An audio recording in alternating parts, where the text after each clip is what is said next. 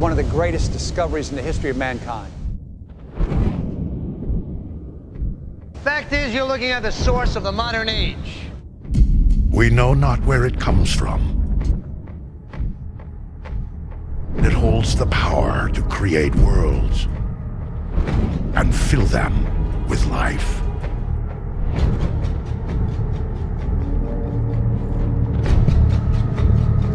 Please step inside.